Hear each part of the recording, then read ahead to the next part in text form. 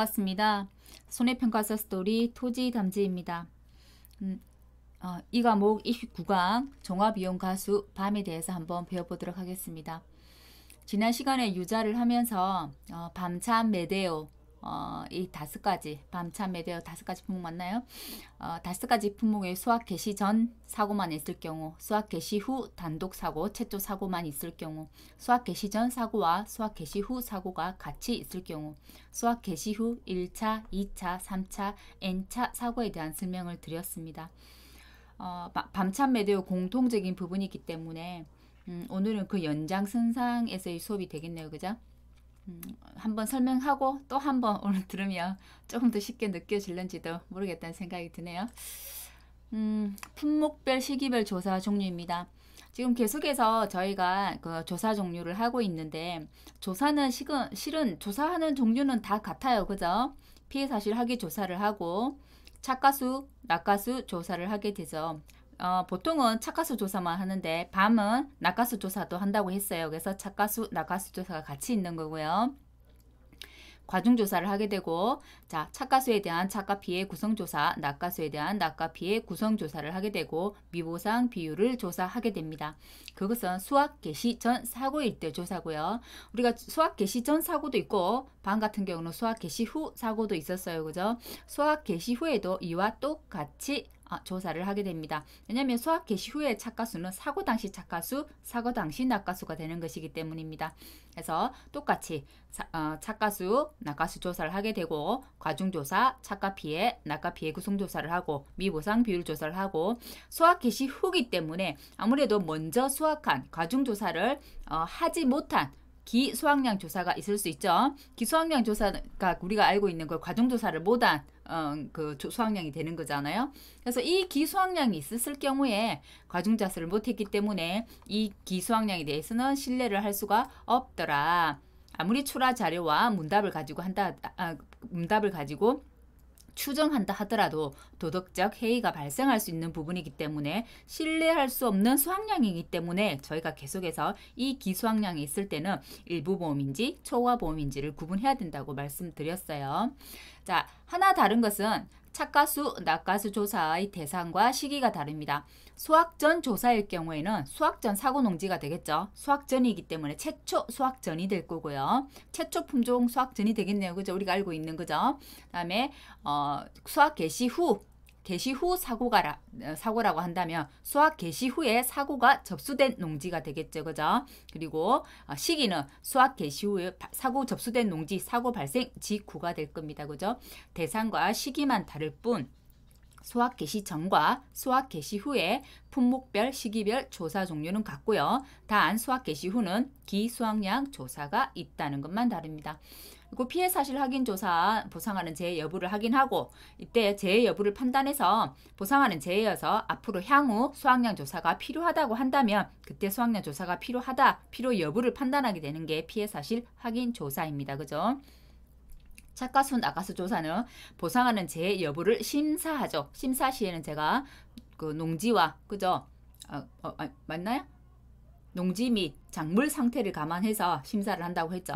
자, 그 다음에 착가수, 낙가수 조사는 우리가 알고 있는 가장 기본 공식이에요. 그죠? 조사 대상 주수를 산정하고 조사 대상 주수의 어, 전체 조사 대상 주수의 그 맞는 품목별 그 표본주수표에서 표본주를 산정하고 그죠? 표본주를 선정하고 표본주 내에 있는 착가수, 표본주 수감 면적 내에 있는 낙가수를 조사하더라. 착가수 조사는 표본으로 조사하고요. 낙가수 조사는 표본의 기본이긴 하나 전수조사도 가능하더라라고 말씀드렸어요. 전수조사가 가능한 경우는 계약자가 떨어진 과수를 전부 모아놨을 경우 그때는 표본을 할 수가 없잖아요. 그래서 전수조사를 하게 되고 그때도 두 가지로 나눠집니다. 품종별로 나눠서 낙가수를 셀수 있으며 품종별로 낙가수를 세서 전수조사를 하게 되는 거고요. 그렇지 않을 경우에는 전체를 조사해서 품종별로 비례해서 산정한다고 했습니다. 저, 그때 전세는 그 100개입니다. 이메이, 이메이 낙가수 100개를 추출합니다. 자, 과중조사는 품종별 세 주 이상의 표본주라고 했어요. 그 세 주는 어떤 거? 착과가 평균 뭐야 착가가 평균적인 표본주가 될 거고요. 그 다음에 과중조사할 때는 크기가 평균적인 품종 20개 이상, 농지당은 60개. 지금 밤이기 때문에 60개 이상이 되겠네요. 그죠? 자, 사, 어, 포복자 밤 같은 경우는 과중조사나 착가 피해 조사의 그 표본과실 추출수가 같지요. 똑같이 표본주 세주 이상에서 표본주의 이, 어, 표본주에서 어, 품종별로 20개 이상, 농지당 60개 이상이었습니다. 그죠? 낙가 피해 조사는 품종별로 20개 이상입니다. 품종별 3주 이상이 아니고 품종별로 20개 이상, 농지당 60개 이상에서 피해 인정 개수별 개수를 개수를 세더라. 피해 인정 개수는 저희가 배웠던 건 100%형, 80%형, 50%형, 그죠? 정상 이렇게 구분했었어요. 그죠? 미, 미부상 비율은 항상 어떤 조사를 하고 났을 때 제일 마지막에 하는 게 다 미부상 비율이었죠. 그죠? 미부상 비율은 대부분 모든 뭐 밭작물이나 논작물이나 이 과수 다 끝에 조사하는 건 미부상 비율 조사예요. 미부상 비율은 조사를 했, 한값 중에 최대값을 사용한다고 했어요. 최대값을 사용하는데 제조사나 금정조사가 있었을 경우에는 제조사나 금정조사 값을 따르더라. 과중조사도 마찬가지였습니다. 최초 조사 값을 사용하지만 제조사나 금정조사가 있었다고 한다면 제조사나 금정조사의 값을 따르더라 라고 말씀드렸어요. 자 그럼 수학년 조사 이제 산정식으로 한번 볼게요. 산출식으로 수학 개시 전, 즉 수학량이라서는 착과량이 되겠죠. 그죠? 다른 것은 전부 착과 피해 구성만 조사한다고 했는데 유일하게 반만 착과 피해와 낙과 피해 구성 조사를 한다고 했어요. 왜냐하면 떨어진 그 낙과수도 상품으로서의 가치가 있기 때문에 유일하게 반만 낙과수 조사를 합니다. 그렇게 이해한다면 밤도 그렇게 어렵지 않죠. 낙과 피해만 같이 조사하면 되는 거잖아요. 그죠? 보통 우리 밤참 메데오 중에 밤만 빼고 그죠? 참 메데오 같은 경우는 착과 피해 구성률하고 주당 평년 수확량의 미부상 주수가 될, 될 거고요. 밤만 낮과 피해 구성률이 될 거고 물론 주당 평년 수확량이 다를 수 있죠. 지금 밤은 착과 수를 세는 거기 때문에 주당 착과 수의 개당 가중에서 착과 량을 산정하지만 우리가 배웠죠. 어, 다시 한번 복습할까요? 포, 보, 자, 밤 같은 경우가 착가수를 셌어요. 주당 착가수. 참달에는 단위 면적당 단위 면적당 착가수를 셌습니다. 그죠? 매실 대추 같은 경우는 주당 착가량을 셌어요. 오미자는 미터당 착가량을 세더라. 항상 무, 무엇인가를 암기를 하고 우리가 외우려고 할 때는 무작정 외우시면 안 돼요. 무, 무작정 외우시면 그냥 품목별로 그냥 무작백으로 그냥 우리가 막 이 산식을 외운다거나 어떤 암기를 하면 그 순간에는 기억할지 몰라도 뒤돌아서면 바로 까먹어 버립니다. 항상 뭔가를 외우거나 어, 외우거나 암기하실 때는 품목별로 외우든지 아니면 특성이 비슷한 것끼리 외우든지 이렇게 해서 카테고리를 구분을 하셔야 돼요. 우리가 우리 그 컴퓨터에서 뭔가를 저장할 때도 우리가 컴퓨터 뭐 C 드라이브, D 드라이브, 드라이브를 먼저 구분하고 그 안에서 다시 카테고리를 구분하잖아요. 폴더별로. 우리 카테고리를, 카테고리를 구분한다는 말은 우리 컴퓨터에서는 폴더별로 구분하는 거죠. 무슨 폴더, 무슨 폴더, 무슨 폴더, 그죠? 그래서 각각의 폴더, 각각의 카테고리 안에 있는 것의 그 특성, 특성을 파악해가지고 비슷한 특성이 있는 것들끼리 묶어서 외우잖아요. 그죠? 그렇게 해야만 잊어먹지 않아요. 그리고 잊어, 그 암기를 할 때 특성이 비슷한 것들이 모아야만 공부를 할때그 암기할 수 있는 양들, 공부할 수 있는 양이 줄어드는 겁니다. 그래서 계속 제가 묶어 드리는 거예요. 착가수를 가지고 하는 것, 주당 착가수, 단위 면적당 착가수, 주당 착가량, 미터당 착가량, 피해 구성 조사를 하는 거, 피해 구성 조사를 하지 않는 거, 수학 전 조사, 수학 후 조사가 있는 거, 수학 전 조사만 있는 거 계속해서 묶어서 이렇게 계속 이제 수그 강의 시간 이야기를 하는 거는 강의하면서 외우시라고 말씀드리는 거예요. 항상 암기를 하실 때는 디렉토리별로, 카, 테고리별로, 뭐 드라이브별로, 뭐 특성이 비슷한 그 것끼리 아무튼 이렇게 구분해서 암기를 하셔야 된다는 거. 사실 저희가 밤참 매대오 지난 시간에 제가 알려드렸던 것도 밤참 매대오가 공통적이잖아요. 이 밤참 매대오가 어려운 이유는 수확 개시 전도 있고 수확 개시 후도 있고 수확 개시 전 단독 사고도 있고 수확 개시 후 단독 사고도 있고 수확 개시 후에 1차, 2차, 3차, n차 사고도 있기 때문에 경우의 수가 많기 때문에 힘든 거예요. 근데 이 모든 경우의 수가 똑같다고요 특성은. 똑같기 때문에 단지 지금처럼 주당 착가수냐 주당 착가량이냐 단위면적당 착가량이냐 미터당 착가량이냐 이게 달라질 뿐이고 그 외에 나머지 공식은 같다는 겁니다. 같기 때문에 한 번만 외우면 되잖아요. 먼저 이해를 하시고 한 번 암기를 하시면 나머지 다 똑같아요. 그 하나만 딱 그 공식을 외우시고 나면 밤참 매대오는 그냥 다 한 번에 해결이 되는 거거든요. 그래서 계속 반복해서 말씀을 드리는 거고 수업 시간에도 이 강의 시간에도 계속 반복해서 아, 그 부분을 상기하기 위해서 어, 제가 계속해서 이제 반복을 하는 거니까 어, 왜 저렇게 반복해라고 하시지 마시고 강의를 들으시면서 외우시기 바랍니다. 자, 착가수 산정입니다. 착가수 산정은 가장 기본 것이, 기본적인 것은 조사 대상 주수를 산정하는 거죠. 조사 대상 주수를 산정하는 이유는 왜? 우리 가수원의 착가수를 알기 위해서. 조사 대상 주수 곱하기 주당 착하수 하면 우리 가선에 착가수가 나오죠. 그죠? 조사 대상 주수는 실제 결과 주수 마이너스 미부상 마이너스 고사가 되더라. 수학 개시준이기 때문에 기수학 주수는 없습니다. 없고 자 주당 착가수는 자 조사 대상 주수가 나오면 우리 가선에 표본주가 전체 표본주가 나오죠. 표본주를 산정하고 그 표본주 를 선정하고 난 다음에 그 표본주에 있는 착가수를 센다고 했어요. 그죠? 그래서 표본주 안에 착가수가 몇 개나 달렸어. 이렇게 하면 주당 착가수가 나오죠. 그래서 주당 착가수가 나오면 조사 대상 주수와 주당 착과수를 가지고 과수원의 착과수를 산정할 수 있습니다. 그죠? 자, 낙과수는 표본조사가 기본이라 했고요. 낙과수 조사도 표본조사는 착과수하고 똑같죠. 똑같이 표본주수에서 표본주에 아, 이 낙과수가 돼야 되는데 착과수 컨트롤 C, 컨트롤 V 이 단점입니다. 표본주에 낙과수를 가지고 옵니다. 그죠? 주당 착과수 아니고요. 주당 낙과수입니다. 그대로 가지고 오면서 실수한 거예요. 자, 주당 낙가수가 나옵니다. 그죠? 그래서 착가수 산정하고 방법은 같다라고 생각하시면 되겠어요.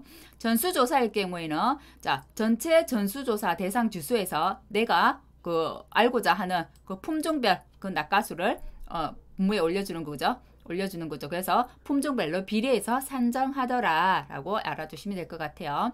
품종 구별이 품종별로 구분이 힘들 경우에는 그죠? 전체 낙가수에서 전체 표본 가실수 합계에서 아 똑같은 이야기네요. 그죠? 또 품종별 표본 가실수를 합계. 그죠? 그대로 구분해서 산정, 이 비례 산정한다는 얘기입니다. 자, 과중조사고요. 과중조사는 네, 보통은 우리가 농지당 60개이기 때문에 한 품종 최소 60개는 조사하게 되죠. 표본 가실수 60개 내에서 무게를 산정하게 되더라. 근데 밤은 무게를 산정할 때 특이한 점이 있었어요. 그죠? 특이한 게 두 개가 있었죠. 밤이랑 참다래가 있었어요. 밤은 30mm, 즉 3cm죠. 3cm 이하 소화 이하 소가, 이하를 소가라고 부릅니다. 소가. 밤은 요렇게 삐죽삐죽삐죽한 것을 송이라고 하고요. 안에 든 이 알맹이를 과립이라고 합니다. 그래서 과립의 지름을 가지고 어, 소가냐, 그다음에 어, 소가 이제 대가냐 구분을 하게 되는 거죠. 소가는 30mm 이하부터 소가고요. 30mm를 초가 초가하는 경우에는 대가라고 대, 대, 대 가 이렇게 소가 대가 이렇게 구분했나요? 자, 아무튼 30mm 이하가 소가입니다. 그래서 30mm 이하 소가는 실제 무게의 80%만 인정하기 때문에 그 무게 곱하기 0.8 곱하기 해주면 되겠죠. 그리고 이제 참대를 같은 경우는 소가를 어떻게 구분하냐면 무게를 합니다. 50g 이하가 속아야 됩니다. 그래서 요거는 제가 밤은 밤하고 비슷한 게 8이기 때문에 8, 80%, 80% 이렇게 외우라고 하셨고 참은 참 칠칠하더라. 똑같이 치엇이 있죠. 그래서 참 50g 이하가 몇 프로요? 70%더라. 그래서 0.7을 곱해준다고 말씀드렸습니다. 자, 그대로 이어집니다. 이제 앞부분은 이제 계산이 됐어요. 그죠? 계산됐고 이제 평년 수확량은 미부 이것도 이것도 이것도 못하네요. 미부상 주수가 되겠네요. 죄송합니다. 자, 미부상 주수가 되겠고요. 미부상 주수 주수는 우리 나무 우리 그 미부상 주수 나무에 몇 개나 달렸는지 알 수 없기 때문에 우리 가소원에 평년에 얼마나 달려 평년에 달리는 개수를 가지고 산정하더라. 그래서 주당 평년 수확량을 산정하고요. 주당 평년 수확량은 단품종일 때는 평년 수확량에서 실제 결과 주수를 나눠주면 되지만 다품종일 때는 전체 평년 수확량에서 자 각각의 표준 수확량의 합계 분에 내가 구하고자 하는 뭐 A 품종이 A 품종, B 품종이 B 품종, 내가 구하고자 하는 품종의 표준 수확량을 올려줍니다. 그리고 그 주당 평년 수확량이기 때문에 요까지 한 것은 이제 우리 그 A 품종의 평년 수확량을 구한 거예요. 그래서 주당이기 때문에 A 품종의 실제 결과 주수가 오는 겁니다. 그래서 이 만일에 A 품종의 표준 수확량을 바로 제시를 해줬으면 그대로, 대, 그대로 대입하면 되지만 만일에 A 품종의 표준 수확량을 제시해주지 않고 A 품종의 주당 표준 수확량을 제시했다고 한다면 A 품종의 표준 수확량은 주당 표준 수확량의 실제 결과 주수를 곱해줘야만 됩니다. 그 하위 단계 문제예요. 그죠? 자 이렇게 놓는다면 제일 첫 번째 쉬운 거예요. 이 두 번째로 나오는 것도 조금 난이도가 1보다는 높지만 괜찮은 거예요. 요 세 번째 단계까지 간다면 어렵다는 게 아니라 풀이 그러니까 풀이하는 과정 속에 시간이 더 걸릴 뿐입니다. 단계가 1단계, 2단계, 3단계 순으로 갑니다. 자, 피해 구속률 산정은 자, 0, 50%는 0.5 지수, 자, 80%는 0.8, 100%는 1 그대로 인정한다고 했죠. 그죠? 표본 가 실수. 자, 표본 가 실수를 보통 뭐 몇 개죠? 60개겠네요. 그죠? 60개가 되겠네요. 한 품종일 경우에 최소 60개니까 그죠? 60개 분의 나머지 올라가는 개수가 되겠죠. 60개 이상이기 때문에 이상이 되어도 상관은 없습니다. 하고 착가에 이상이 없거나 낙가 피해 정도가 아주 경, 경미한 경우 그 다음 아주 심한 경우는 피해 구성 조사를 생략할 수 있습니다. 자, 감수량 산정이에요. 앞부분은 수학 개시 전에 수확량 조사, 수확량 조사고 착가량 조사였어요. 그죠? 착가량 조사고 이제 수학 개시 이후, 수학 개시 이후에 사고가 있었다고 하면 그때부터는 감수량을 산정해야 되잖아요. 자, 그래서 감수량 산정할 때 이제 산정 시기 산출 시기 되겠습니다. 자, 감수량은 우리 그 뭐야 가수원의 감수량을 산정할 때는 어 착가 감수량 낙가 감수량, 그 다음에 고사, 주수, 감수량을 세 가지를 다 구했었죠. 착가량을 산정할 때는 미보상 착가량이 올라갔지만 감수량을 산정할 때는 고사, 주수, 감수량이 온다는 거.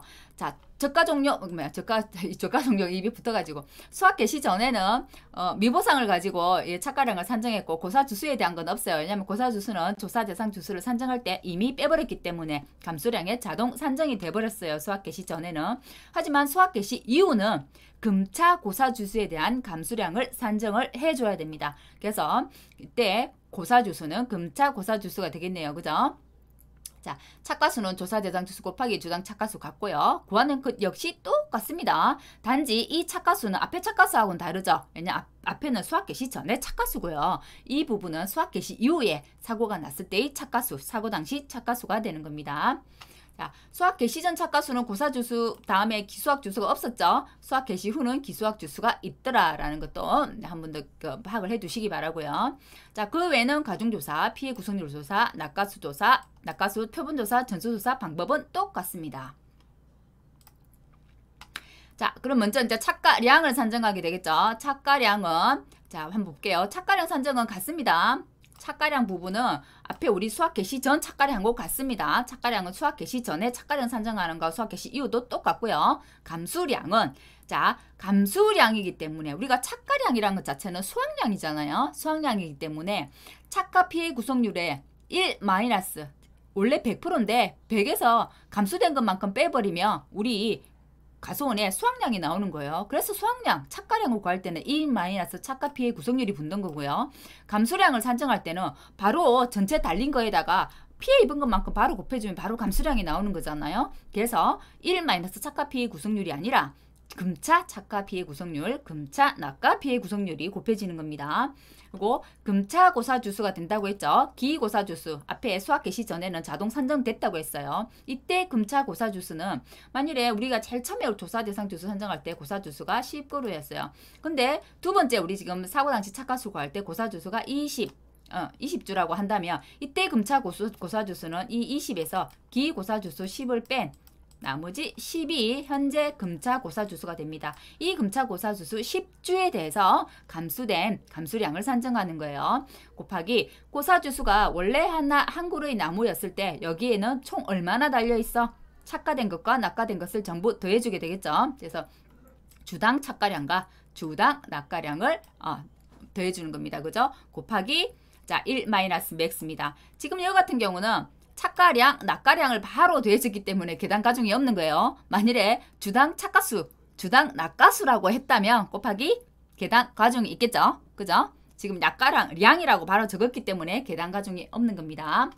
자, 품종별, 수령별, 금차, 고사주수 이거만 설명드렸어요. 그죠? 자, 그리고 1 마이너스 max. 이거는 전체 피해를 본다고 했고 전 고사주수는 전체 피해를 본다고 해서 1이고요. 그 다음에 착과 피해를 착과 입은 것이 다시 그죠? 고사 주수에 들어가실 수 있기 때문에 착과 피해가 이중으로 어 이중으로 이제 계산되는 것을 방지하기 위해서 기 착과 비율은 빼주는 겁니다. max A인데 A가 빠졌네요.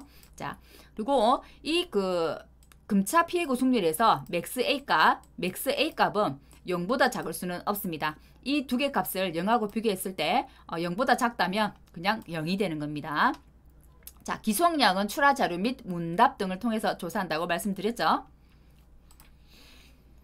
자, 이게 저번 시간에 했던 내용입니다. 그죠? 밤참 메데오의 수확량 조사 부분, 사고의 겨, 사고 경우, 경우의 수를 네 가지로 나눠서 설명을 드렸었고요. 수확 개시 전일 경우에는 착과량 자체가 바로 수확량이 되어버린다고 했어요. 그죠? 감수량은 자동 산정이죠. 그래서 착과량이 수확량이 되기 때문에 그냥 이 착과량을 수확량으로 잡아서 평수 및 평에서 피해율 구하면 됩니다.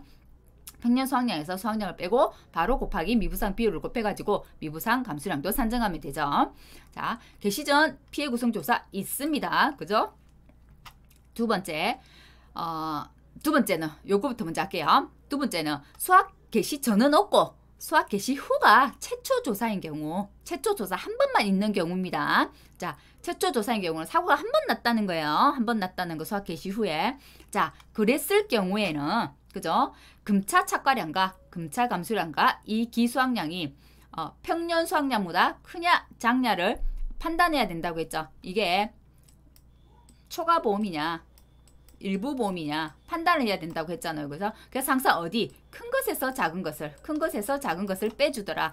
큰 것에서 감수량 그죠? 큰 것에서 감수량을 빼주더라. 그죠? 그래서 자 이때는 그 우리 가수원의 수확량은 뭐가 되냐면 금차 착가량 기수확량이 된다고 설명 된다고 설명드렸던 거는 제가 한번 이거 그 뭐죠 그 기준 수확량 개념으로 이해를 해 주십사라고 말씀드렸어요. 예를 들어서 기수확량이 있고 착가량이 있고 감수량을 우리 과수원에 저희가 없었을 때 기준 수확량이라고 한다면 이때의 수확량은 이 기준은 이건데 수확량을 알려면 감수량을 빼야 되잖아요. 마이너스 감수량을 하면 감, 감 없어지고 우리 과수원의 수확량은 기수확량과 착가량이 수확량이 되더라. 그래서 그, 그 수확량이 금차 착가량과 기수확량이 됐던 겁니다. 일부 보험일 때, 그죠? 자, 초과 보험일 때는 당연히 평년이 크기 때문에 평년에서 감수량을 뺀 게 수확량이 됩니다. 하지만 일부일 경우에는 감감 없어졌기 때문에 기수확량과 착가량, 금차 착가량이 우리 과수원의 수확량이 되는 겁니다. 그래서 이거를 평년 수확량과 비교해서 평년보다 클 경우에는 금차 착가량과 기수확량이 수확량이 돼서 거기에서 감수량을 빼주는 거고요. 만일에 평년이 크다고 한다면 큰 값에서 빼주기 때문에 평년에서 금차 감수량을 빼주게 되는 겁니다. 자, 이거 어렵지 않죠? 그죠? 자, 그리고 이 그 기수학량으로 하면 이게 바로 이렇게 이해가 되기 없어지는 게 되기 때문에 이해가 되지만 그냥 말로 설명한다고 하더라도 우리 이 그 수확량 안에는 감수량이 포함되어 있기 때문에 다시 감수량을 어? 어 에, 에, 감수량이 포함돼 있죠. 포함돼 있죠. 그렇기 때문에 감수량을 다시 안 뺀다는 개념도 맞는 겁니다. 그냥 역으로 바꿔서 생각을 한다면 그죠? 그죠? 이렇게 기수학량식으로 이렇게 이해를 하지 않아도 그죠? 자, 그리고 그 식으로 이제 이해를 한다고 한다면 평년 수확량과 금차 착가량 플러스 기수확량 중에서 큰 값에서 사고당 감수량을 빼주더라. 역시 이건 역시도 과중조사를 하나라도 하지 못한 품종이 있었을 때 그게 해당되는 거예요. 그죠? 왜냐면 수확 개시 후가 있다는 거는 조생 중 하나는 과중조사를 하지 못했다는 게 되기 때문에 그렇습니다.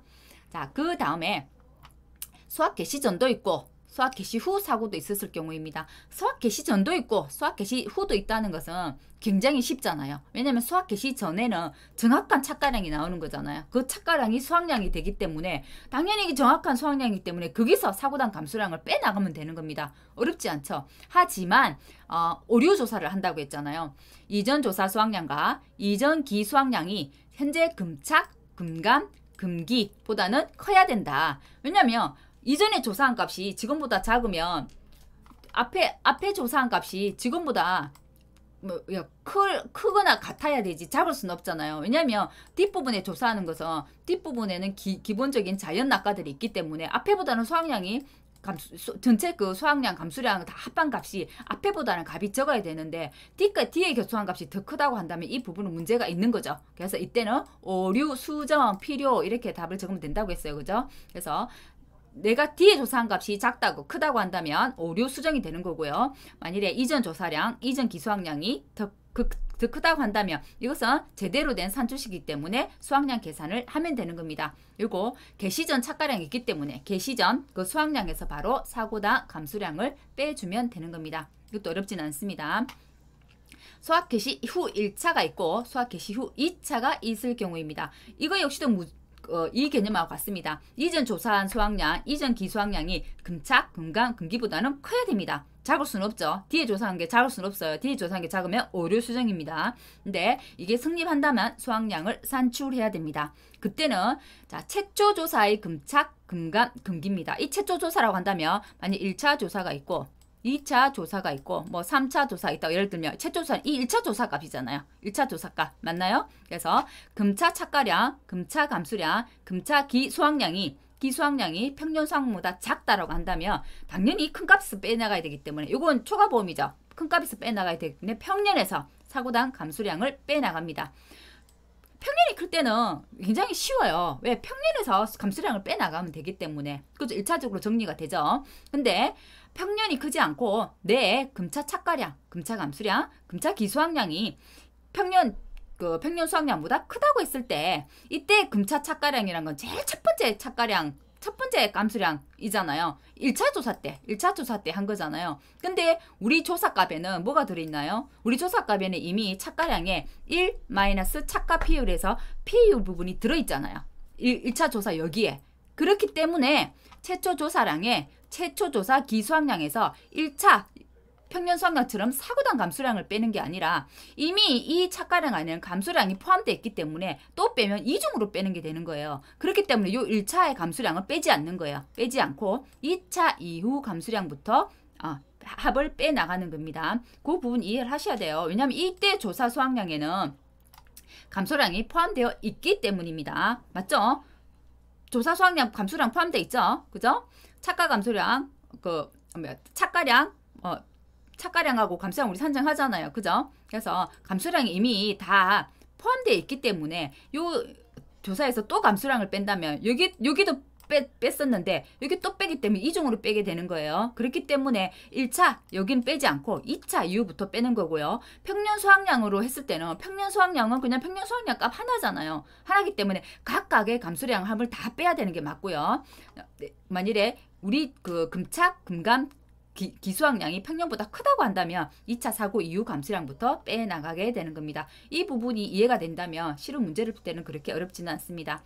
물론 수학 개시 이후 부분은 모두 초과보험 일부 보험이 적용되는 되는 겁니다. 그래서 초과 그, 그, 초과로 들었을 때는 평년이 크기 때문에 평년에서 사고당 감수량을 빼는 거고요. 일부일 때는 나이 착가량, 나이 착가량과 이건 수학 개시 후 이후기 때문에 기수학량도 있잖아요. 그래서 그게 착가량과 기수학량이 수학량이 되는 거예요. 그죠? 그래서 금차 착가량, 기수학량에서 어, 감수량을 빼거나 또는 최초 그 수학량에서 기수학량에서 2차 사고 이후 감수량을 빼는 거든 이렇게 되는 거예요. 만약 여기는 첫 번째 최초 조사이기 때문에 금, 금감을 안 빼는 거예요. 왜냐면 이미 여기에 산정돼서 뺐기 때문에 그죠? 근데 이거는 2차, 3차기 때문에 2차 사고 이후 감수량을 빼는 겁니다. 만약에 이게 첫 번째 사고가 아니고 금차 수학 개시 후 수학량 조사도 있고 그죠? 그러니까 아니 여기 여기 이 부분이죠. 요거 여기 이 부분이죠. 수학량 그 수학 개시 전에 수학 개시 전과 후 수학량 조사에서 이게 첫 번째 그 조사가 아니라고 한다면 수학 개시 전 수학량에서 아, 아 사고당 감수량이 되기 때문에 뭐 사고당 감수량 그대로 빼면 상관없긴 없긴 하겠네요. 그죠? 자, 제가 순간 헷갈렸네요. 자, 이 부분 정리가 되시나요? 자, 그래서 제가 그 일부 보험인지 초과 보험인지를 구분하는 것은 수학 개시전이 있는지, 그죠? 없는지 그 부분을 파악해야 된다 했잖아요. 수학 개시전 사고가 있다고 하면 일부 보험, 초과 보험 하지 않죠. 일부 보험, 초과 보험 하는 것은 수학 개시 후 사고만 있는 경우. 예를 들어서 어떤 경우인가요? 3번, 4번 경우인가요? 3번, 4번 경우이고 만약 이전 사고와 그죠? 이전 사고와 금차 사고를 비교해서 오류가 있는지 없는지를 구분해야 되는 거는 다 다중 사고라고 했잖아요. 사고가 하나만 있는 거 아닌 거. 수학 전도 있고 수학 후도 있고 또는 수학 후 1차, 수학 후 2차, 수학 후 3차 이런 다중 사고일 때는 이전 사고와 금차 사고를 비교해서 이게 제대로 된 시기인지 아닌지를 구분해서 제대로 됐다고 하면 그때부터 수학량을 산출하고 제대로 시기 아니 된 시기 아니라고 한다면 오류 수정이라고 말씀드렸어요. 자, 이 부분은 제가 설명한 부분을 그대로 식으로 나타낸 부분이기 때문에 한번 보시고 이해를 하시면 될 것 같고요.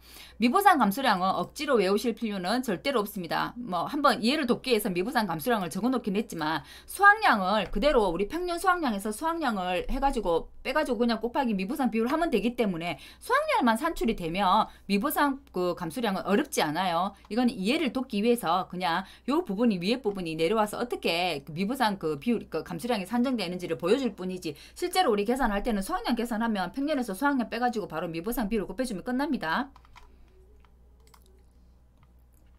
자, 보험금은 가피자 그대로고요. 피해율은 평수, 미평, 수학량도 산정하고 착가량도 산정하고 감수량도 산정하더라 라는 것만 알아두시면 될 것 같아요. 그죠?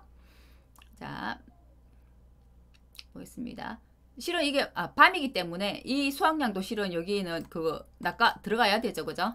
밤으로 제가 밤 수업을 하고 있기 때문에 그죠? 여기는 낙가피해 구성도 들어가야 됩니다. 이건 수학기 이전에 대한 수학량이었고요. 수학기 이후 수학기 이후 부분입니다. 밤이기 때문에 이거 똑같이 들어가야 되네요. 이건 전체를 전체에 따른 거 그러니까 밤참 메디오골 가져오다 보니까 제가 여기 지금 낙가가 빠져 있는 겁니다. 자 예시 문제 보면서 한번 설명해 드릴게요 어, 문제가 아마 나온다고 한다면 그 저희가 6회 때 시험 문제 같은 경우는 수학 개시 전만 나왔었잖아요. 복숭아. 수학 개시 전 사고만. 예, 수학 개시 이후에 감수량이 없는 문제였잖아요.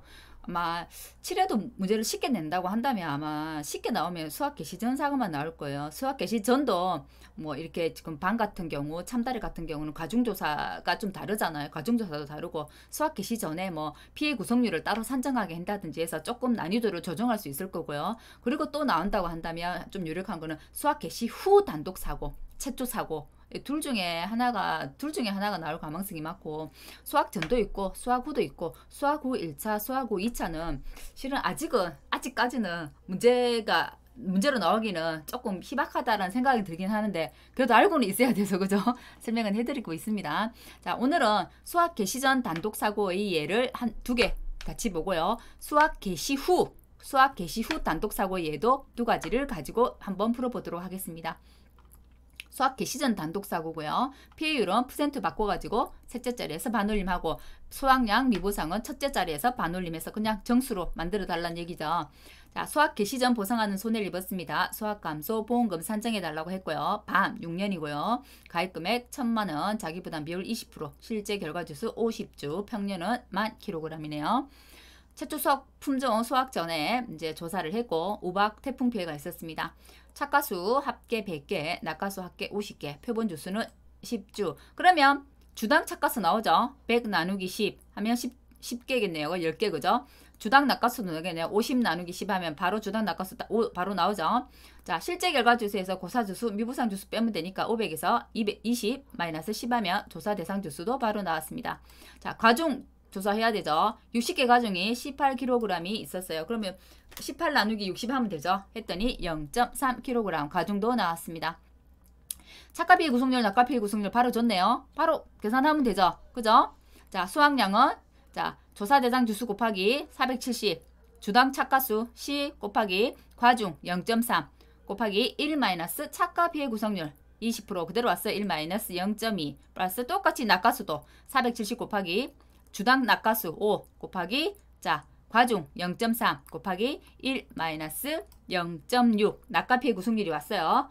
미부상 주수 몇 주? 10주. 자 10주에 평년 수확량 그죠? 한 주당 평년 수확량은 평년 수확량당 실제 결과 주수 품종이 하나기 때문에 바로 나눠버리면 되죠. 만에서 500을 나눴더니 20kg이 나왔네요. 그래서 10 곱하기 20 했더니 결과값은 1610이 되더라. 이게 수학 개시 전만 있을 때는 굉장히 쉽다고 했잖아요. 이 착가량이 바로 뭐가 된다고요? 착가량이 수학량이 된다고요. 그럼 이게 수학량이기 때문에 미부상 감수량은 평년 수학량에서 이 수학량을 빼고 미부상 비율 곱하기 10% 하면 미부상 비, 미부상 감수량이 나왔어요. 피해율은 그러면 바로 넣어줘. 평수 미 평이기 때문에 그대로 그 값들을 집어넣어주면 피해율은 75.42%가 나와서 계산했더니 전체 보험금은 554만 2천원이 나오더라. 이분 저는 빠르게 설명하지만 블로그에 PDF 올려놓을 테니까 답 절대로 보지 마시고 직접 한번 풀어보시기를 바랍니다. 답 보고 풀지 마세요. 자 순서는 조사 그 문제 푸는 순서는 이 플로우는 이 과정 그대로 가시면 됩니다. 자, 수학계 시전 단독 사고인데요. 조금 더 이제 문제 난이도를 조금 조절했어요. 자, 과중을 따로 구하게 했고요. 착가 피해 구성조사도 따로 있고 낙가 피해 구성조사도 하게끔 해놨어요. 그죠? 자, 그럼 똑같은 문제인데 한번 풀어보겠습니다. 조사 대상 주수 400, 고사 주수 90, 미부상이 10입니다. 400에서 90, 11 뺐더니 300주가 됐네요. 표본 착가수, 표본주 착가수 500, 표본 주수가 10이니까 500 나누기 10 했더니 바로 50 나왔네요. 주당 낙가수 100개에서 10 했더니 10개가 나왔습니다. 자, 과중 나왔죠? 자, 밤에서 중요한 건 과중이었어요. 그죠? 과립지름이 30mm를 초과했을 때는 소가, 아, 초과했을 때는 소가 아니죠. 그래서 무게를 그대로 인정. 5,000g, 5kg이네요. 그대로 인정. 과립재립이 30mm 이하일 때는 소과로 해서 자, 총 60개 조사했네요. 했는데 자, 1,400g, 1.4kg 되겠네요. 1.4kg에 대해서는 몇 프로만 인정? 80%만 인정. 그래서 곱하기 0.8 해준다고요. 그죠? 그래서 5, 5 더하기 1.4 곱하기 0.8. 몇 개 총? 50개 플러스 10, 60개 조사했더니 과중이 1.0, 아니 0.102kg이 나왔네요. 자, 그럼 주당 평년 수확량은 자, 평년 상현 나오는 게 실제 결과 주소하면 되죠. 4천 나누기 400 했더니 바로 100이네요. 그죠? 아, 10이네요. 그죠? 10이 나왔네요. 자, 착비 구성률 한번 해보겠습니다. 전체 과일수의 그죠? 우리 자, 숫자 전체 숫자 더 이거 전체 과실수죠. 다 더하죠. 다 더합니다. 그죠? 자, 100개네요. 100개입니다. 자, 정상이 60개. 피해 안 입었어요. 자, 100% 피해이니까 10 더하기 0.8 곱하기 10 더하기 0.5 곱하기 20 이렇게 되는 거죠. 됐더니 몇 프로요? 0.28, 28% 나왔습니다. 낙하피해도 마찬가지입니다. 전체 과실수 자 100입니다. 그죠? 100에서 정상은 피해를 안 입었으니까 놔두고 100% 1 곱하기 10이니까 10 더하기 0.8 곱하기 30 더하기 0.5 곱하기 20 이렇게 되겠죠. 했더니 0.44에서 44%가 나왔어요. 자 여기까지만 따로 딱 구했다고 하면 그 다음은 그대로 값 넣어주는 거잖아요. 조사 대상 주수에 주당 착가수에 계단가 중에 그죠? 1 마이너스 착비 구성률 다음에 낙가수는 조사 대상 주수에 주당 낙가수에 계단가 중에 1 마이너스 낙비 구성률 더하기 미부상 주수는 미부상 주수의 한 주당 평년 수확량을 가지고 하더라. 위에서 구한 값을 그대로 다 집어넣어주면 되는 겁니다. 그래서 계산했더니 몇 킬로요? 1473, 1373kg 나왔어요. 자, 이게 수확량이기 때문에 평년에서 수확량을 빼고 곱하기 미보상 비율 10%네요. 했더니 미보상 감수량도 나왔어요. 그러면 평년 수확량도 나왔고 그 수확량도 나왔고 미부상 감수량도 나왔기 때문에 평수 미평 해서 비율 산정하면 되죠. 보험금은 자, 가피자 그대로 해서 보험금 산정했더니 391만 원이 나오더라. 똑같은 문제인데 그죠? 난이도만 조금 조절한 거죠. 그죠? 이런 식으로 나올 수 있다고요. 왜냐면 예전에는 이렇게 그, 그, 그 복숭아, 복숭아 같은 경우는 전부 우리 6회 때는 과정을 바로 접어렸거든요. 그러면 정말 쉽잖아요. 근데 반 같은 경우는 특이하잖아요. 소가를, 소가는 80%만 인정하기 때문에 이렇게 해서 문제를 난이도를 조절할 수 있고 착각비의 구성조사 직접 하게 하면 이 부분에도 시간이 걸리잖아요. 그래서 난이도, 난이도 조절을 이렇게 할 수 있다는 거. 다음 수학 개시 후의 단독 사고입니다. 수학 개시 후의 단독 사고라는 것은 조, 중, 만, 조생종, 중생종, 만생종 중에 적어도 이 조생종 하나는 가중조사를 못했다는 게 되죠. 그렇기 때문에 초과보험인지 일부보험인지를 구분해야 된다고 했어요. 그죠? 초과보험이면 평년 수확량에서 감수량을 빼주면 되고요. 그죠? 맞나요?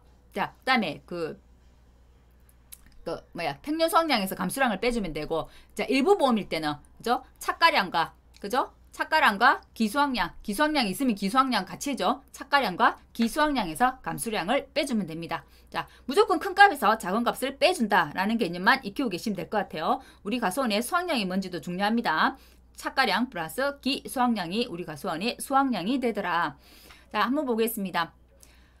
이제 우리 조사 대상 주수 구하는 거, 주당 착가수 구하는 거, 주당 낙가수 구하는 거, 과중, 주당 평년 수확량 구하는 거는 뭐 이 푸는 거에 눈 감고 풀 수 없겠지만 뭐 순수대로 계산식을 풀어 나가는 거는 그냥 척척 할 수 하실 수 있죠. 자, 조, 사 대상 주수를 구하고 주당 착가수, 착가수 합계에서 표본 주수로 나누고 주당 낙가수, 낙가수 합계에서 표본 주수로 나누고 그죠? 자, 조사 대상 주수는 실제에서 고사 미부상을 뺍니다. 그죠? 고사 미부상을 빼고 자, 여기서도 과중이 따로 산출하게 돼 있죠. 자, 볼게요. 과립지름이 30mm 이하, 소가가 500g이라고 했네요. 0.5kg 되죠? 500 아, 이게는 지금 아, 그람으로 바로 계산했네요. 지금 그람으로 해가지고 킬로그램으로 바꿨네요. 지금 제가 2000g 더하기 500g 곱하기 80%만 인정 곱하기 0.8 그죠? 자 전체는 몇 개? 60개라고 했어요. 자 송이수는 역시 60개고 안에 그 과립 과립 과립의 무게를 재는 거예요. 무게는 그래서 나누기 60 했더니 40g이 나왔어요. 40g이기 때문에 둘, 셋 갔더니 0.04kg이 나오네요. 그죠?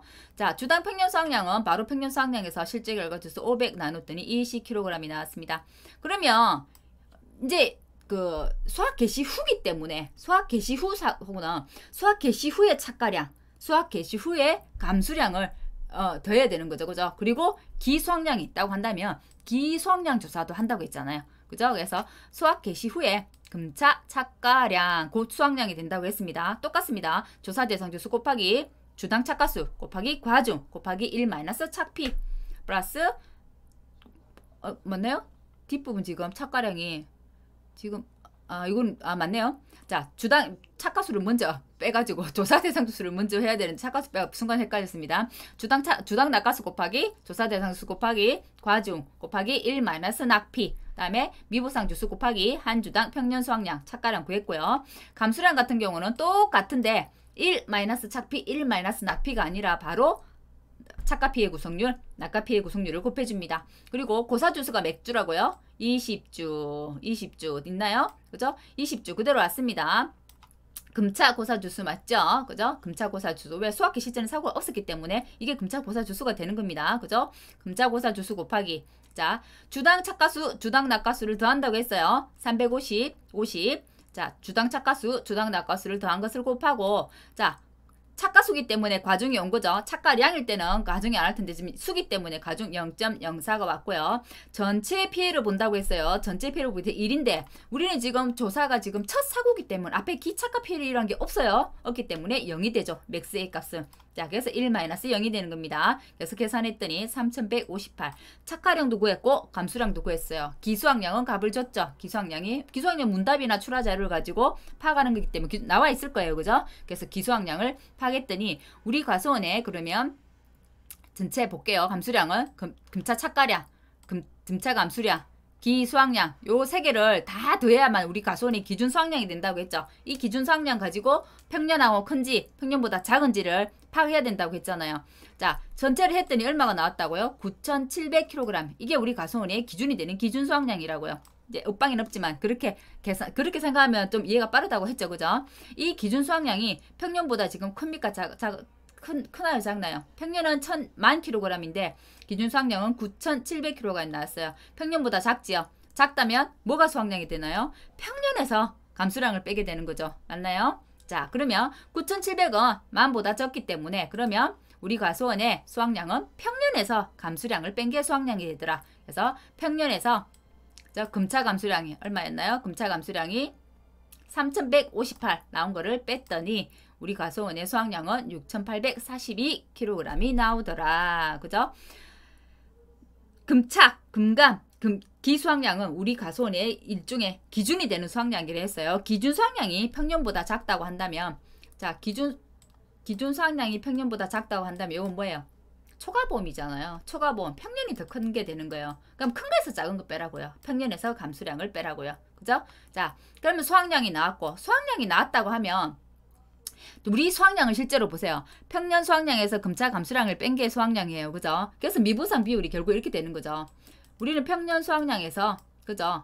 수, 수확 량이 지금 평년에서 감수량을 뺀 게 지금 수확량이었잖아요. 곱하기 미부상 비율이 되는데 평년 평년 없어지고 그래서 감수량, 금차 감수량 곱하기 미부상 비율이 우리 과수원의 미부상 감수량이 됐던 거예요. 이렇게 해서 감수량 비율이 나왔던 거고 실제는 이게 수확량이기 때문에 그 바로 그냥 평년 수확량에서 이 6,842 빼면 바로 그 우리 그 미부 거기에다 곱하기 미부상 비율 하면 감수량 바로 나옵니다. 그죠? 똑같은 원리예요. 그죠?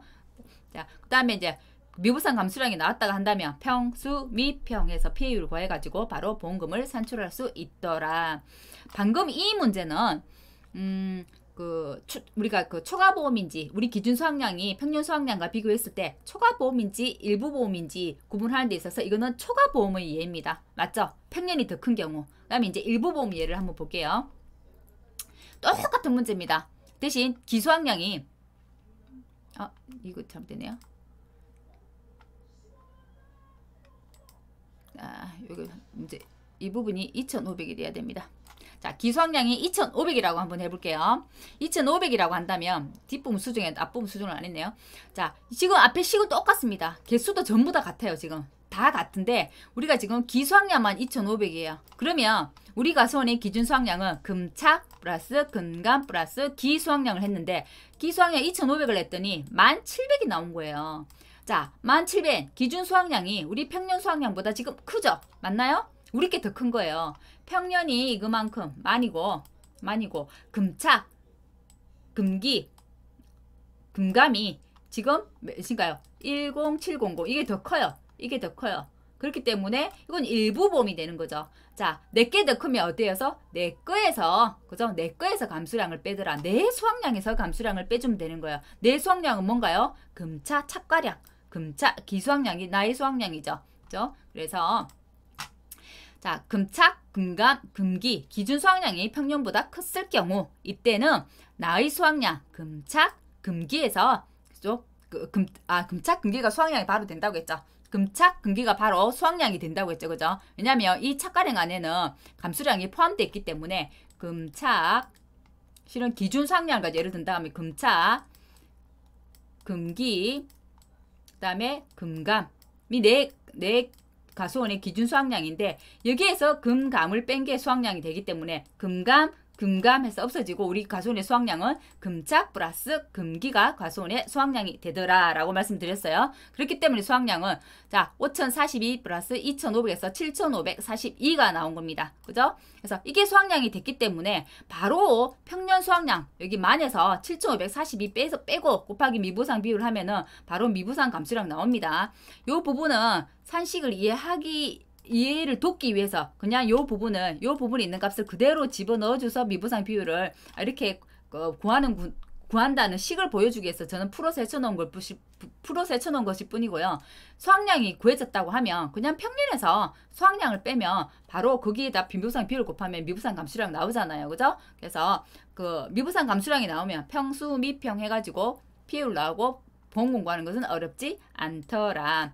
만일에 이게 최초 사고가 아니고 N차 사고, 이어지는 2차, 3차 사고를 한다면 금차, 금차, 금기에서 N차 사고, 2차 이후 수확량, 2차 이후 감수량을 빼줘야 되는 거겠죠. 만일에 이게 일부 보험이라고 했을 때, 그죠? 근데 최초 사고이기 때문에 이거는 수확량은 금차, 금차 수확량 플러스 기수확량, 금착 플러스 금기가 바로 우리 가수원이 수확량이 되더라. 자, 유형별 풀로 한 번만 보겠습니다. 왜냐면 케이스 유형은 네 가지밖에 없거든요. 그죠? 네 가지밖에 없기 때문에 이 유형만 이 케이스 유형만 익혀 놓으면 밤, 밤, 밤, 참다래, 매실, 대추, 오미자 같은 경우는 계산식이 똑같다고요. 대신 밤 같은 경우는 주당 그 어, 어, 물론 여기 주당 착과량이라고 적은 거는 적어놓은 거는 착과수 곱하기 과중을 바로 했기 때문에 주당 착과량이라고 돼 있는 거예요. 그죠? 그걸 줄여놓은 겁니다. 그리고 뭐, 그, 매실 대추 같은 경우는 주당 착가량이 바로 들어가죠. 그죠? 주당 착가량이 바로 들어가고, 참다 같은 경우는 단위 면적당, 어, 그죠?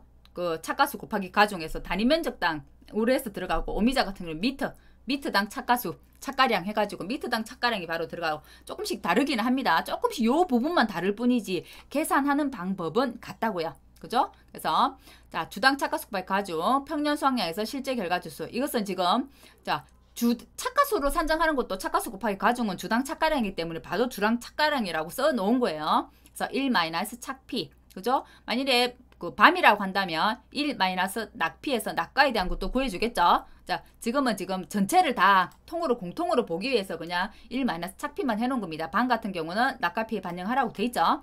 다음에 미부상 주수 곱하기 주당 평균 수확량이 착가량이 되는 거고요. 그죠? 이게 만약에 개시즌 단독 사고이기 때문에 착가량이 바로 수확량이 돼버립니다. 그죠? 그렇기 때문에 평년 수확량에서 이 수확량 빼고 곱하기 미부상 비율 하면 바로 미부상 감수량이 나오고 평수 미평해서 피해를 구하고 보험금 산정하면 됩니다. 자, 두 번째, 수학 개시 후 단독 사고라고 했습니다. 수학 개시 후 단독 사고는 어, 평년 수확량이 큰지 우리 과수원이 기수확량과 그, 어, 그, 어, 그, 그 기수확량과 착가량 뭐 해서 수확량 우리 과수원의 그 기준 수확량이 큰지를 구분을 해야 된다고 했어요. 그죠? 자, 요거 계산하는 방법은 같습니다. 계산하는 방법은 같아요. 계산하는 방법은 같고 자, 참달에는 한 주당 한 주당 착가량 아, 참달, 참달의 요거, 요거는 뭐냐면, 무슨 말이냐면, 우리가 금차고사 주수에는 주당 착가량, 주당 낙가량, 결국은 주당 착가수 곱하기 주당 낙가수 곱하기 가중이기 때문에 주당 착가량, 주당 착가량으로, 낙가량으로 줄여놓은 거예요. 자, 이렇게 하는데, 참달의 같은 경우는 사실 거의 낙가되는 게 없습니다. 낙가되는 게 없고, 어, 참달의 특성상 항상 그, 제식 면적 가지고, 어, 주수가 따라오면 제식 면적이 따라온다고 했잖아요. 그죠? 주수, 주수, 내 주수 곱하기 제식 면적이 항상 따라오기 때문에 우리 참달에는 미보상 그, 그, 미보상 주수에서 한 주당 평년 그, 평년 수확량 구할 때도 단위 면적당 평년 수확량을 산출했잖아요. 그것처럼 고사주수, 고사주수 할 때도 주당 착가량, 주당 낙가량이 아니라 참달에는 단위 면적당 평년 수확량으로 산출합니다. 그 점이 좀 특이하기 때문에 이건 적어놓은 것, 적어놓은 것일 뿐입니다.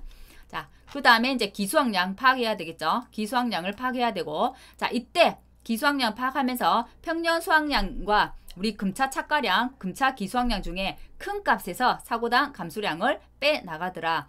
자, 비교는 착, 금착, 금강, 기수학량이 평년보다 작을 때, 이때는 초과보험입니다. 그래서 그래서 큰 값, 평년에서 어, 금차 감수량을 빼 나가게 되는 거고요.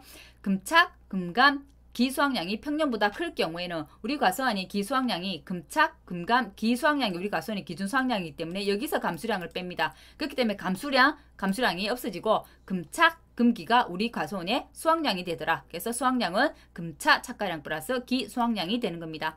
그래서 수학량이 구해지면 미보상 감수량은 그죠? 거기에서 평년 수확량에서 이게 만약 수확량이라면 이 수확량을 빼주면 될 거고요. 이게 수확량이라면 이 수확량을 빼주게 될 거기 때문에 이 금차 감수량 곱하기 미부상 비율이 미부상 감수량이 될 거고요. 그죠? 자, 이 부분이 수확량이라 고 한다면 평년 수확량에서 이 부분을 빼줘야 되겠죠. 하지만 굳이 그렇게 계산하지 않아도 평년 수확량에서 바로 수확량 빼버리면 되는 거죠. 그래서 곱하기 미부상 비율하면 미부상 감수량은 나오더라. 자, 두 번째 사고고 이게 수학 개시 단독 최초 사고입니다. 자, 수학 개시 전 사고도 있고 수학 개시 후 사고도 있을 때입니다. 앞부분 계산하는 건 같아요. 같죠? 같습니다. 그죠? 주당 차가량 구하는 거 같고 그다음에 뭐 그 참달에만 그 단위 면적당 평년 수확량 가지고 이거 금차 고사 주수 구하는 게 다르다고 말씀드렸어요. 그죠? 그거 다르고 나머지는 전부 같습니다. 이 기수학량이 두 번 들어갔네요.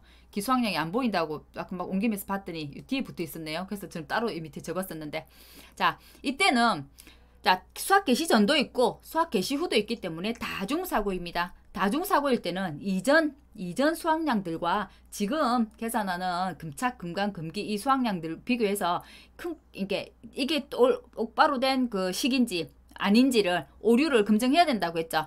이전 조사 수학량, 이전 기 수학량이 당연히 클 수밖에 없다고 했잖아요. 왜냐면 금착, 금감, 금기는 자연 낙가 등이 있기 때문에 무조건 이전보다 수학량이 클 수는 없잖아요. 뒤로 수학하는 게 앞에 수학량보다 클 수 없잖아요. 그죠? 그래서 만일에 내가 지금 수학한 게 뒤로 수학한 게 앞에보다 크다고 하면 그때는 오류가 있기 때문에 오류 수정이 답이라고요.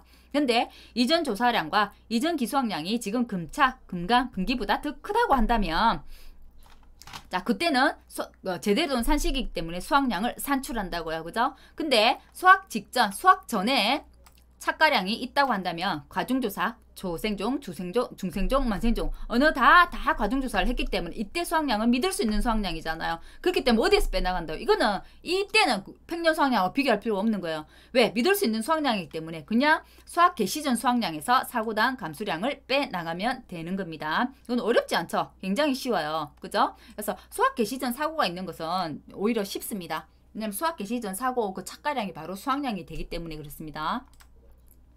자, 수학 개시 후에 1차 사고, 2차 사고, 3차 사고, n차 사고까지 이어졌을 때는 어떻게 되느냐. 요 앞에 계산하는 부분은 전부 같습니다. 같고 바, 밤일 때는 낮과 피해 구성률이 있다는 거 말씀드렸었고요. 그죠? 자, 수학 직전 부분 요 부분 같고 수학 개시 후도 계산하는 방법은 같습니다. 맞죠? 같아요. 참달에는 요거 제가 그 말씀드렸죠. 단위 면적당 평균 수학량 가지고 산출한다고 고사주수도. 자, 뒤에 이때는 다중사고이기 때문에 이때도 이전 조사 플러스 이전 기수학량과 금차, 금감, 금기를 비교했을 때 D게 크면 안 된다고 했죠. 앞에 키 컸을 때는 어, 올바른 산식이기 때문에 그때부터는 수학량을 계산한다고요. 그죠? 수학량을 계산하더라.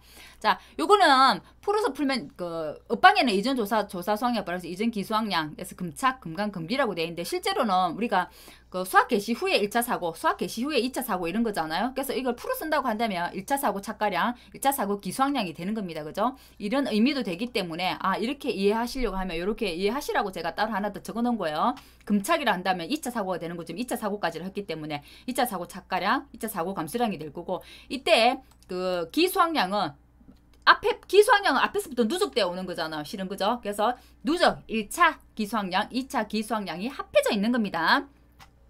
이게 수, 성립을 하면 수학량을 산출하고 성립하지 않으면 오류이기 때문에 오류, 수정 이렇게 답을 적어야 된다고 했어요. 그죠? 그래서 최초 조사값 금차, 금감, 금기가 평년보다 크냐 작나 해서 초과 보험인지 일부 보험인지 구분해야 된다고 했어요. 초과일 때문에 어렵지 않다고 했죠. 평년에서 그냥 무조건 사고당 감수량을 빼나가면 되기 때문에 평년에서 사고당 감수량을 빼더라. 근데 금차, 금감, 금기가 평년보다 클 때는 우리 가수원에 지금 값이 더 크잖아요. 큰 값에서 작은 값을 빼나가더라. 그래서 착가량과 금차, 그, 이때 착가량이라는 것은 우리가 1차 사고, 2차 사고가 있다면 1차 사고 착가량이겠죠. 그죠? 제일 먼저 조사한가 1차 사고 착가량, 1차 사고 기수학량이기 때문에 1차 사고 착가량에는 이비 우리 착가량의 1 마이너스 착가 비율에서 그 우리 다 뭐가 들어있나요? 1 마이너스 낙가 비율, 1 마이너스 착가 비율에서 다 이 감소되는 부분이 들어있잖아요. 들어있기 때문에 또 여기서 1차 사고, 2차 사고 감소량을 하면 이게 두 번 빠지는 게 되는 거잖아. 1차 사고에 대한 부분이. 그렇기 때문에 2차 사고 이후 감소량을 빼주는 겁니다. 이게 옆방에는 최소 조사 수학량, 최초 조사 기수학량 마이너스 2차 사고 이후 감소량이 돼 있는데 실은 이게 1차 사고기 때문에 이렇게 1차 사고 착가량, 1차 사고 기수학량이라고 한다면 2차 사고 이후 감소량 이렇게 이해하는 게 좀 쉽죠. 그래서 이렇게 이해를 돕기 위해서 이 부분들을 이렇게 한번 가지고 와 본 겁니다. 같은 개념이기 때문에 그렇습니다. 자, 수학량이 나왔습니다. 수학량이 나왔으면 수학량을 가지고 평년 수학량 마이너스 수학량하고 미보상 비율을 곱해주면 미보상 감수량은 나오는 거기 때문에 어렵지 않습니다. 그래서 평수 미평 비율 구하고 보험금 산정하면 되겠습니다. 그래서 케이스가 이 네 가지 케이스예요. 우리 지금 시험에 나올 수 있는 케이스들은 우리가 수학 개시 그 이거를 수학 개시 전 사고가 있고 수학 개시 후 1차, 2차 이렇게 내면 정말 정말 안 되겠죠. 그제 그렇게까지 문제를 아직 내지 않을 거예요. 그렇기 때문에 수학 개시 후 그냥 하나 사고만 있는 거를 지금 예시를 드는 겁니다. 수학 개시 전 사고가 있을 때, 수학 개시 후 1차 사고만 있을 때, 그다음에 수학 수학 개시 후 1차, 2차, 3차 사고가 있을 때 실은 이게 뭐 수학 개시 후 1, 사고가 있고 수학 개시 후 1차, 2차, 3차도 만들어낼 수는 있죠. 문제를 만들어낼 수는 있어요. 문제를 만들어낼 수는 있는데 그렇게까지 나오지 않을 거라고요. 나온다고 한다면 수학 개시 전 사고하고 수학 개시 후 1차 사고만 있는 게 나오든지 아니면 수학 개시 후 N차 사고들 그 다음에 수학 개시 전 사고만 있는 거 또는 수학 개시 후 사고만 있는 거그 중에서도 제일 유력한 거는 수학 개시 전 사고만 있는 거 그리고 수학 개시 후 사고만 있는 거. 요두 개는 확실하게 알아두시라고요. 그 두 개는 그렇게 어렵지 않거든요. 그래서 수학 개시 전 단독 사고 수학 개시 후 단독 사고 즉 최초 사고 1차 사고만 있는 것은 꼭 암기를 뭐 이해를 하셨으면 그 다음에 암기를 하십시오. 암기를 하시기 바랍니다 이거 되게 헷갈리고 계속해서 뒷부분에서 우리가 이제 반복되어서 나오는 부분이기 때문에 한 번 더 케이스를 정리를 해드린 거예요. 어, 어떤 거는 주당 착가수하고 주당 착가량 한다 했는데 왜 여기 주당 착가량이야? 요거 왜다 같이 주당 착가량이야? 저건 이렇게 물어보지 마세요. 이거 그냥 주당 착가수일 경우에는 착가수 곱하기 가중을 줄여 이거 합해서 그냥 바로 산식 하나로 표현해 놓은 것일 뿐입니다. 그리고 여기도 마찬가지입니다. 주당 착가량 여기 착가수 곱하기 가중돼 있죠, 그죠? 근데 주당 착가량을 바로 구하는 그 품목이라 한다면 그냥 주당 착가량이 나오는 거예요. 왜 산식이 달라 이렇게 하시지 마시고 대표적인 케이스가 이렇다라는 것만 이해를 해주시면 되겠습니다. 그리고 특이하도 참다리 같은 경우는 자 주당 한 주당 착가량을 산출하는 것도 특이하고 고사주수 우리 그 주당 주당 착가수 곱하기 주당 낙가수 결국은 주당 착가량 주당 낙가량이 되는데 그거 곱하기 하는 부분이 차, 그 참다리 같은 경우는 낙하수가 거의 없고 그죠 항상 제시면 이제 따라다니더라 라는 걸 기, 머릿속에 기억하셔가지고 그 주당 평년 수확량 평년 수확량 가지고 그 고사 주수 감수량도 구한다는 것만 기억을 해두시면 될 것 같고요. 참다리 부분에서 그 부분 다시 한번 설명하도록 하겠습니다. 그래서 어, 이 문제 정말 4개만 이 4개 우선 수학 개시 전과 수학 개시 후 문제도 지금 유행이 지금 4개라 지금 제가 지금 소개를 해드렸잖아요. 이 문제 4개만 확실하게 하셔도 실은 문제 풀 수 있을 것 같다는 생각이 저는 들거든요. 근데 이게 반만 해당되는 게 아니잖아요. 지금 밤참 메디오는 똑같잖아요. 반만 낙가 낙가 피해 구성률 조사를 한다는 것 뿐이지 참달에 매실, 대추, 그죠? 오미자 전부 다 같거든요. 이반 문제를 확실하게 해놓으면 뒤에 밤참 메디오 이어지는 나머지 네 품목들은 정말 똑같이 계산식이 가기 때문에 어, 밤을 제대로 열심히 공부하고 이해를 하시고 암기를 하셨다고 하면 뒷부분 가수는 어, 왜 이렇게 쉬워? 라고 스스로 생각하실지도 모를 것 같습니다. 설명하는 데 있어서 조금 제가 어눌해 가지고 이해를 잘 하셨는지는 모르겠는데 어, 혹시나 그 설명에 조금 그 설명하는 데 있어 이해가 잘 안 되셨다고 한다면 제가 요 산식으로나 설명으로 여기 PPT에는 자세하게 순수대로 기입을 해놨기 때문에 한번 보시면서 이해를 해보시기 바랍니다. 역량이 저도 전문가가 아니다 보니 이해를 시키는데 한계가 조금 있는 것 같습니다. 제가 알고 있는 것을 어, 상대방이 알 수 있게 쉽게 설명한다는 게 생각보다 쉽지가 않네요. 자, 오늘 수업은 여기까지 해서 마치도록 할게요. 마치도록 하고 이거 끝났죠? 또 뒷부분 또 있나요? 없죠? 없죠? 네, 여기까지 하고 오늘 수업은 마치도록 하겠습니다. 다음 이 시간에는 이제 밤 밤참 매도니까 참달의 부분 이어서 할게요. 참달에 참달에는 구하는 게 굉장히 특이한 게 맞죠? 과중조사 할 때도 다르고 그죠? 그죠? 그 단위 면적당 착가, 착가수를 구한다는 것도 다르고 그죠? 그래서 참달의 부분도 굉장히 재밌, 재밌습니다. 문제 풀어보면 그래서 오늘은 밤 여기까지 하고 다음 시간에 참달을 가지고 강의 다시 가져오도록 할게요. 오늘 강의 된다고 수고하셨습니다.